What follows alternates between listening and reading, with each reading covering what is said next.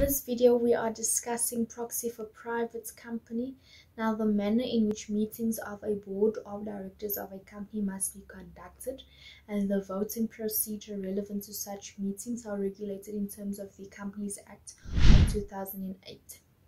and the Memorandum of Incorporation of the company.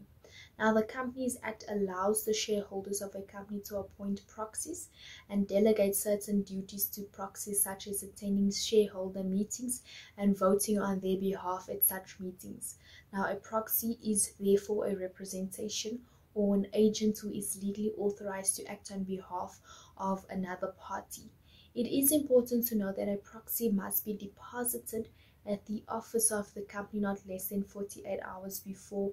the time appointed for holding of a meeting, and if not deposited timeously, it shall not be treated as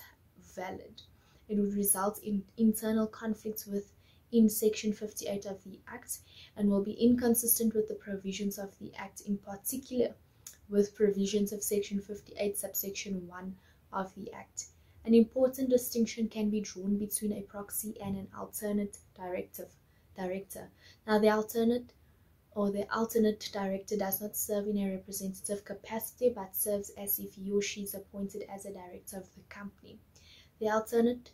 or the alternate director accordingly needs to act in the best interest of the company and is subject to all of the fiduciary duties towards the company as contemplated in the Companies Act. Although the appointments of the alternate directors is regulated by the Companies Act, it is also crucial to ensure that the Memorandum of Incorporation of the company addresses the nomination, appointment, and the service of the alternate director. Now, the dire consequences of the practical utility in respect of the following that I'm about to discuss. It is estimated that at least 90%, if not more, of the companies who have drafted a memorandum of incorporation on behalf of their corporate clients were wrong and advised their company clients incorrectly. It is further estimated that 90%, if not if not more, lit, literally thousands of registered memorandum of incorporations in our country contain void stipulations, which are inconsistent with the act pertaining to the late proxies. Now, general meetings or annual general meetings will be disrupted and inconvenienced to extent to the extent that no meeting will commence on the stipulated time scheduled in the notice until all proxies delivered within a millisecond or a nanosecond. Whether a millisecond or a nanosecond before the time scheduled for that meeting are firstly scrutinized, the validity thereof verified and counted, one can only imagine what absolute chaos will ensue in instances when public companies with literally hundreds and possibly thousands of eligible voter members giving proxies are confronted with proxies delivered with delivered a second before the scheduled time of the commencement of the meeting. Now, the concept of disqualifying late proxies stood the test of court scrutiny over time since the company's since the Companies Act of 1926 and the previous Company Act of 1973. Now, Section 50 of the new Act stipulates, among other things, the following that at any time a shareholder of a company may appoint any individual, including an individual who is not a shareholder of that company, as a proxy to participate and speak and vote at a shareholders meeting on behalf of the shareholder or give or withhold written consent on behalf of the shareholder to a decision contemplated in section 60 then a proxy appointment must be in writing dated and signed by the shareholder and remains valid for the period of one year after the date on which it was signed. Alternatively or any longer or shorter period expressly set out in the appointment unless it is revoked in a manner contemplated in subsection 4 paragraph C or expires earlier as contemplated in, sec- in subsection 8 paragraph D except to the extent that the memorandum of incorporation of a company provides otherwise. a copy of the instruments appointing a proxy must be delivered to the company or to any person on behalf of the company before the proxy before the proxy exercises any rights of the shareholder at any shareholders meeting. With reference to section 58 subsection 3, some people are of the view that sec that the section does not refer to or relate in any way as to the time when the proxy is to be delivered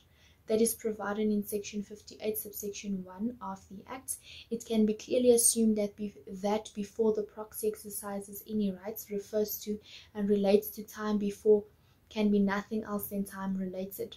Furthermore, the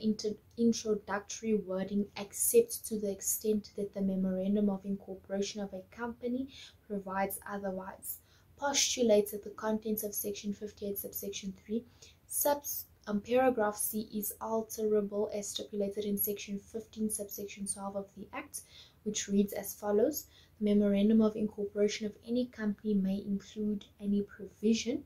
altering the effects of any alterable, alterable provision of this act, imposing on the company a higher standard, greater restriction, longer period of time, or any similarly more onerous requirement than would otherwise apply to the company in terms of an alterable provision of this act. Now, an alterable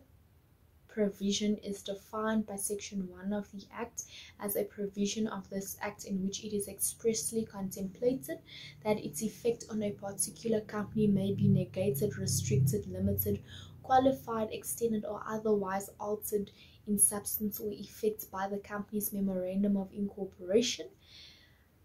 does accept to the extent of the memorandum of incorporation of a company provides otherwise not mean expressly contemplated within the meaning of an alterable provision. The any time referred to in section 58 subsection 1 relates to the giving of a proxy inter partes which, mean, which means between parties, between the member and whomever the member appoints in terms of the proxy However, as far as the company is concerned, for the purpose of relating to its own administrative procedures, as provided for in section 15, subsection 2, paragraph A, subparagraph Roman numeral 3, um, it is entitled to change before as stipulated in section 58, subsection 3, sub uh, paragraph C to 48 hours before. Now, inter partes, the proxy giver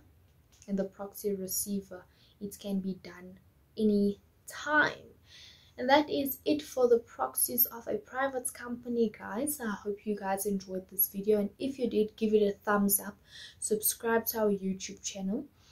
Follow us on all our social media platforms that is Facebook, Instagram, and Twitter. And if you guys are interested in more information, do follow our website www.lawyersezyfind.co.za and then stay tuned for more informative videos like these coming up.